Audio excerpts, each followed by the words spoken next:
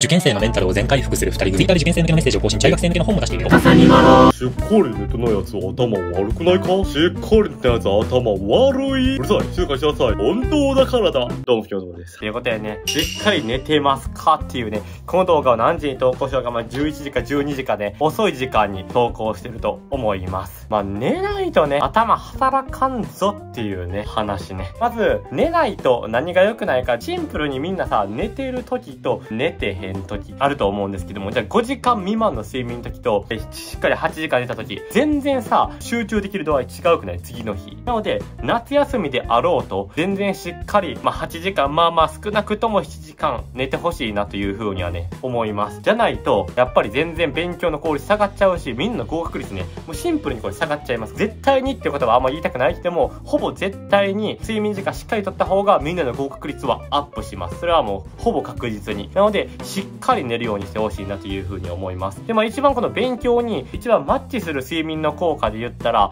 記憶の定着ね。まあこれ皆さんも知ってると思うんですけども、睡眠時間の寝てる間にこのレム睡眠と記憶の定着をこうしてくれるんですよね。だからこそ、寝る前に単語帳をやったらしっかり記憶で定着できるとか、だからこそ、しっかりね、寝るっていうのは大事になってきます。じゃないと、前日やったことをね、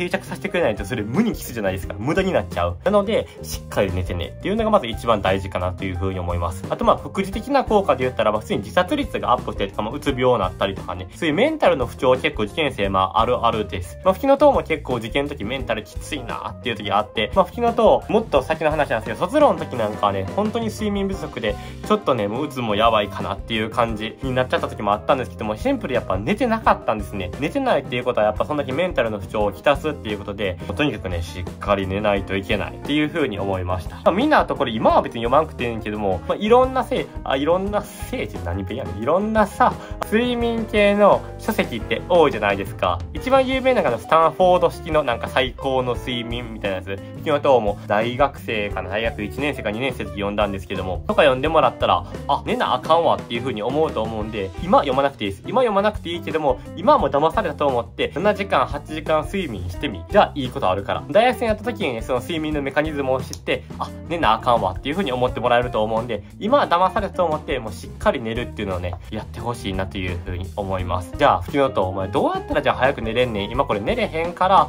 こうやって起きてんねん。どうやったら寝れんねんっていうことみんな聞きたいと思うんで、まあ、吹きの塔から僭越ながら、えー2個ほどアドバイスをさせていただきます。まず1個目。これが一番効果あるなっていう風に思うのが、もう、おもんない参考書を読むですね。まあ、受験生じゃなくても、吹きの塔も小説ね、友達から借りためっちゃおもんない小説あるんですよ。友達が、マジ吹きの塔めっちゃおもろいから読んでみって渡された小説こんなんで、なんか、まあ、誰の作者とかちょっと言えないですけども、なかなか、ほんまに分厚くて、なんか登場人物多くて面白くないんですよ。だから、この味すぐね、寝ちゃって、それがね、結構睡眠導入剤になってるんですけども、最近の。なので、まあそういう小説であったりとか、まあ参考書、一冊ぐらいね、なんか持ってると思うんですよ。学校でもらっためっちゃ面白くない参考書とか、を読んでもらったら結構寝れるかなっていうのを一個思ったりします。あともう一個は、普通に草に丸の授業動画、超ロングバージョン、例えば8時間とか7時間とかあったりすると思うんで、それを聞きながら寝落ちしてもらったらいいかなっていう風に思ったりします。まあそこやったら途中まで聞いて、ふんふんふんっていう勉強になるやん。勉強になるプラス、まあ全然、まあ話面白くないですか、草に丸の話。面白くないんで、ぐっすり寝れるっていうね、